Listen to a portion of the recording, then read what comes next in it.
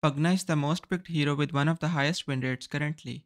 What makes this hero great is that it doesn't really require any special item to be useful in the game. Not only that, Pugna is great at taking control of the map by destroying towers with Nether Blast as well as sieging high ground. This hero heavily counters physical damage cores like Faceless Void, Sven, and Templar Assassin with Decrepify, and spellcasting heroes like Necrophos with Nether Ward. That's not even all.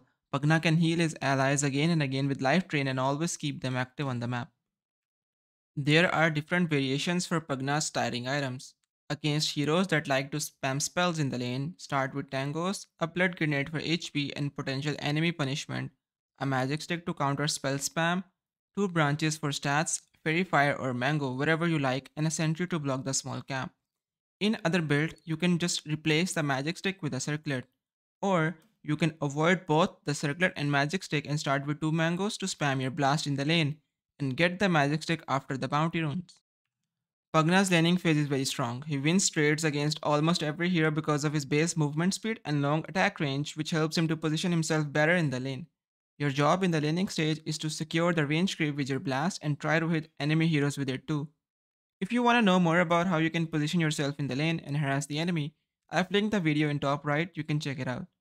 If you're playing against heroes that like to cast spells in the lane, in that case you can get Nether Ward on level 2 and go aggressive on them. Otherwise, you can go Decrepify on level 2 if you're playing against a hero like Tusker or Druid type of heroes that rely on physical damage in the lane. Your priority in the laning should be to get Arcane Boots and start spamming your blast on tier 1 so you can enable your core to farm the enemy's jungle. With Arcane Boots, Pugna is free to rotate anywhere on the map and pressure the enemy tower. The easiest way to play is that once you have taken your lane's tower, you just move to the middle lane, place a Nether Ward and start taking the middle tower.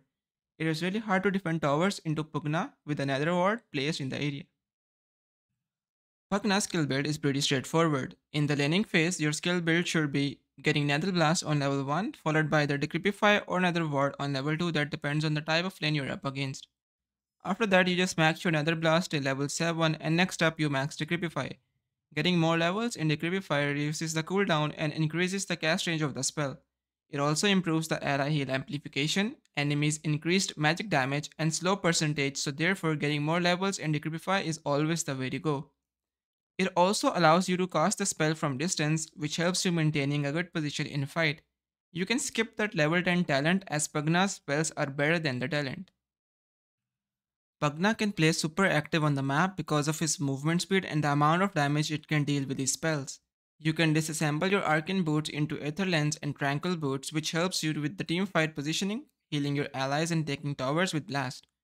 After the laning stage, Pugna has 3 options based on the situation.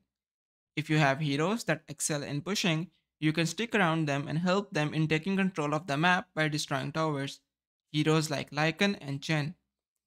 If you have a support or mid hero that likes to run down enemy heroes in map like Primal Beast mid or Gyro support, you can just ward the enemy jungle, run around the map and look for kills. If your team is behind in terms of net worth and you cannot really fight, in that case you should start pushing a lane and pressure the tower by yourself. When you are pushing a lane, make sure to stay hidden in the trees and don't auto-attack the creep wave as it will reveal your position. Just spam your blast and you're good. This will force enemy heroes to react to your play and it will open up the map for your team to farm. In most cases, the enemy team doesn't really respond to the push properly, and they end up in a bad position where they can be punished. For example, one or two heroes TP back to defend, leaving three heroes open in your area, which gives your team a chance to take a fight. Positioning is very crucial for ideal team fights. As a Pugna, you don't want to show yourself on the map. Doing so will allow the enemy team to jump on you and kill you first. Just place a Nether Ward in the fighting area and look for saving your allies. If a team has a Pugna and he's not showing on map, it is really hard to jump the other heroes as Pugna can always save them. By staying out of sight in team fights and using Decrepify, you can save your teammates against heroes like Faceless Void during Chronosphere, which can completely change the outcome of the fight. Positioning for safe life drain channels is crucial for sustained impact.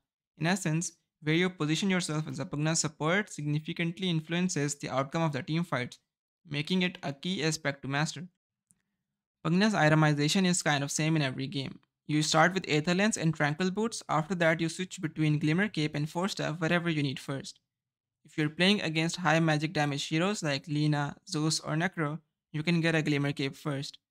Force Staff helps you and your teammates in positioning, which is a key aspect. If the enemy team has heroes that like to jump, in that case, you can get a Force Staff before a Glimmer. After that, you just itemize according to what your team really needs. If your team lacks a catch, you can get a Hex. Lotus Orb is a pretty good item if enemy team has a lot of single target spells. You can also get an Aeon Disc if the enemy team is smart and they are starting the fights on you. But in most cases, if you position yourself in trees, you are less likely to be targeted. Decrepify has many mechanics that most people still don't know. Decrepify can be cast while channeling, which means even if you're using Life Drain, you can still use Decrepify on any hero within spell range and it will not cancel the Life Drain.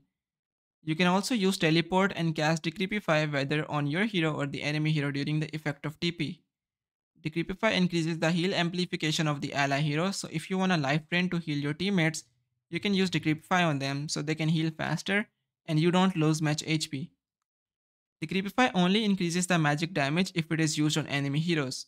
If you use it on allies, they will not take extra magic damage, so don't hesitate to decrepify your allies against magic damage heroes. You can also use decrepify on Nether Ward so the enemy team cannot hit it.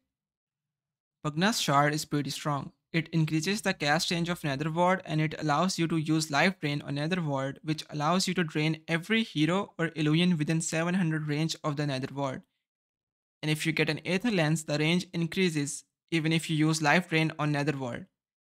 Really strong ability especially against illusion based heroes like Naga, PL, Luna, TB, as Life Drain clears the illusions in 1 second and your team can easily target the real hero. Pugna's talent choices typically involve skipping level 10 talent and going for the spells because the spells are far better than the first talent. At level 15 plus 3 Nether Ward because it can make it hard for the enemy team to destroy it during a fight. On level 16, you can get the first talent based on whatever you like. I personally like to get plus 200 health, but I have seen some pro players going for plus 20 movement speed as well. At level 20, if the enemy team has a hard physical based lineup where two or more than two heroes rely on physical damage, then you can get a plus 1 decrepifier duration. Otherwise, you can choose life drain talent as well. Finally, at level 25, I like to get Nether Blast damage as it helps in taking buildings and clearing waves. If you're interested in private coaching, you can join my Discord linked in description. Do let me know if you have any feedback, otherwise have a nice day and good luck with your games.